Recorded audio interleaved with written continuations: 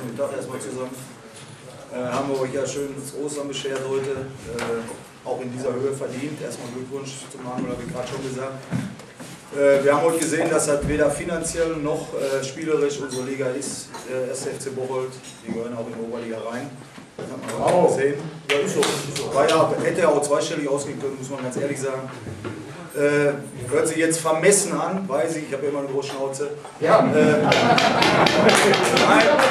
ja, ich habe ja noch extra gesagt, ich wollte das erst noch sagen. Wir haben übermorgen noch ein Spiel und gegen Niederweniger, da habe ich drei Mann geschont beim Tabellenführer. Ist natürlich, äh, aber selbst wenn die dabei gewesen wären, hätten wir 6 verloren. Von daher.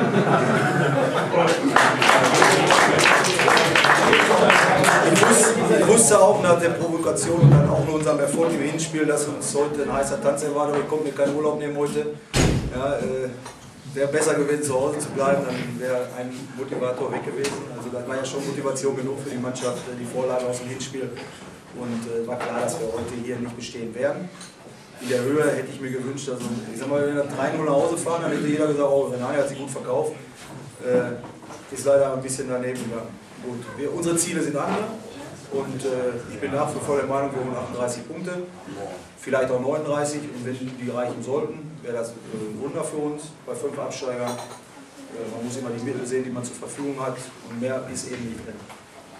Und ich wünsche Bocholt alles Gute mit der Anlage hier, Weltklasse. Ich durfte einmal hier spielen, war immer in Westfalen tätig ja, und äh, ist schon schön geworden.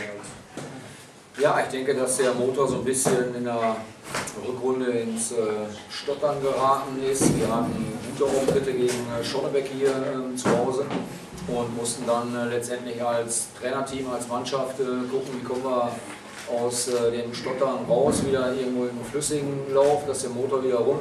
Und auch Hamborn war, denke ich, ein erstes gutes Ausrufezeichen in der Woche, wie die Mannschaft da gespielt hat ich denke auch heute, wenn die Mannschaft ähm, weiter so spielt und die Dinge, die wir analysiert haben, so umsetzt, ein bisschen haben wir umgestellt, äh, auch erste, zweite Halbzeit heute, ein bisschen von der Ausrichtung her ähm, auf verschiedene Art und Weise gespielt. Auch dann hat der Gegner äh, weiter Probleme.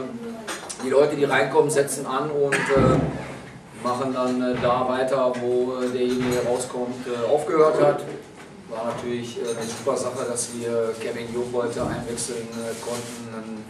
Begnadeter Fußballer durch und durch, äh, der uns irgendwo am vierten, fünften Spieltag schon weggebrochen ist, der heute nochmal kommt, den wir Woche für Woche sukzessive aufgebaut haben. Und heute hat er schon mal einen harten Zweikampf mit dem Torwart gehabt, also dann äh, kriegt er auch die nötige Wettkampfhärte. Die Angst muss äh, letztendlich noch weichen.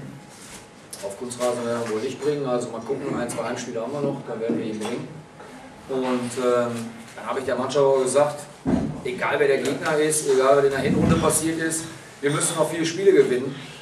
Heute haben wir eins gewonnen, vier sind noch da, die wir gewinnen müssen. Dann haben wir alle ein großes Ziel, hier Meister zu werden. Hier ist lange keiner mehr Meister geworden und dafür müssen alle, alle 2022 äh, alles geben, ob sie spielen oder nicht. Das machen sie auch.